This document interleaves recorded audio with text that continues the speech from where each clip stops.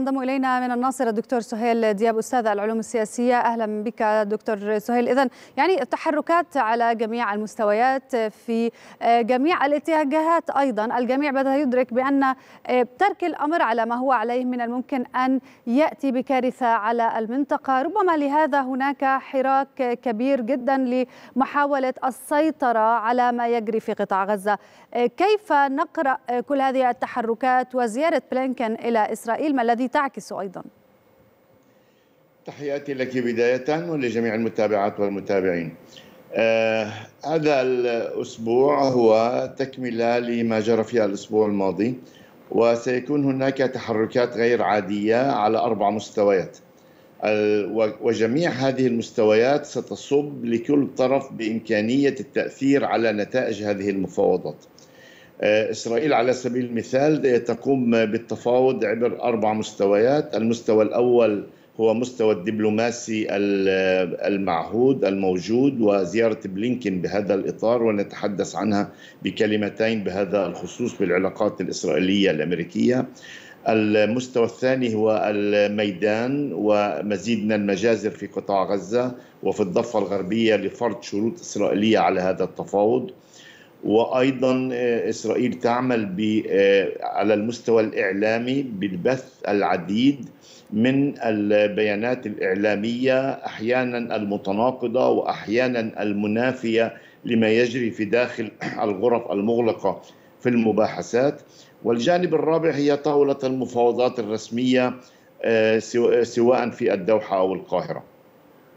بهذه المستويات الأربعة تجري الأمور ماذا هذا يقول؟ هذا يقول عدد من الأمور الأمر الأول أن هناك إرادة أمريكية جامحة بضرورة الوصول إلى أي شيء من التفاهم لأسباب تريدها الولايات المتحدة خاصة قلقها بما يجري في الانتخابات الأمريكية وحملة كاميلا هاريس والثانية والثاني هو المصالح الاستراتيجية للولايات المتحدة بالشرق الأوسط التي لا تريد أن توصل إلى مواجهة إقليمية.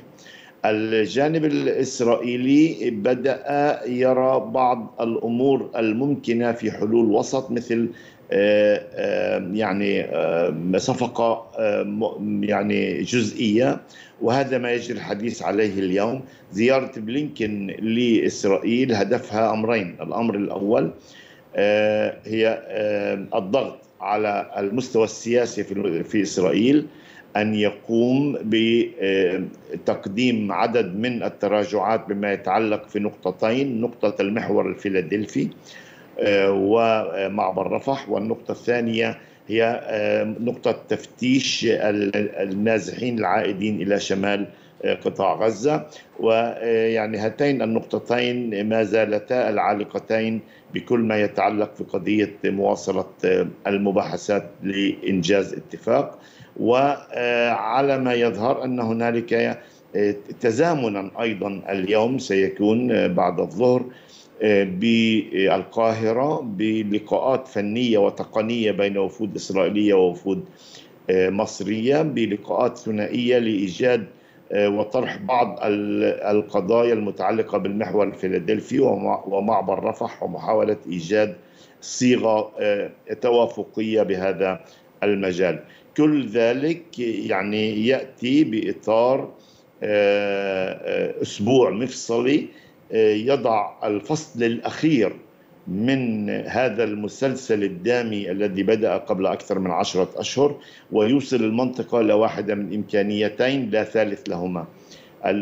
إما الذهاب إلى تهدئة وصفقة ويعني مزيد من التهدئة أيضا على الإقليم أو الذهاب إلى حرب إقليمية كارثية لا يحمد عقبها نعم يعني هل الآن يعني الحديث عن أن إذا لم يتم تطبيق هذا المقترح الأمريكي والانتظار نحو تفكيك تفكيك ربما العقد الأكثر صعوبة قد يعني أن تستمر هذه الحرب لمدة أطول وأن ذلك سوف يحتاج إلى وقت طويل جدا بالتالي هل البدائل التي تضعها أمريكا الآن من الممكن أن تكون بداية للاتفاق على قضايا أكثر عمقا خلال الفترات المقبلة إذا ما تم تنفيذ هذا الاتفاق؟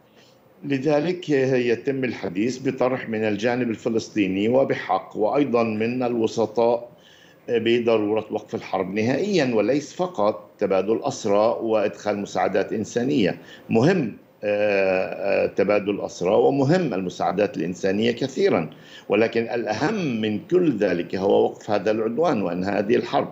الولايات المتحدة تعطي ضوءا اخضرا معينا اننا سنؤكد على تبادل الأسرى وإدخال المساعدات.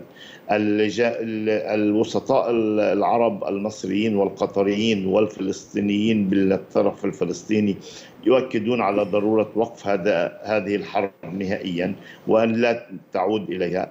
نتنياهو يريد صفقة جزئية وضمانات بأنه يستطيع أن يعود إلى الحرب متى يشاء.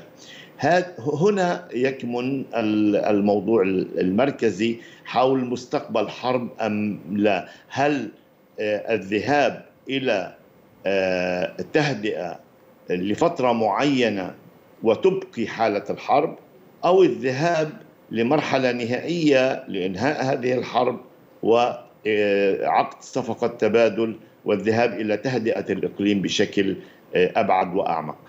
هنا يكمن الفخ الأكبر في هذه المباحثات. ما الذي تقدره دكتور سهيل سريعا؟ أقدر أننا ذاهبون بجميع مؤشرات دون الدخول بتفاصيل كثيرة إلى لا يوجد أي إمكانية إلا الذهاب إلى نوع من أنواع الصفقة نعم. بهذا الشكل أو ذاك. أود أن أشكرك جزيلا كنت معنا من الناصر الدكتور سهيل دياب أستاذ العلوم السياسية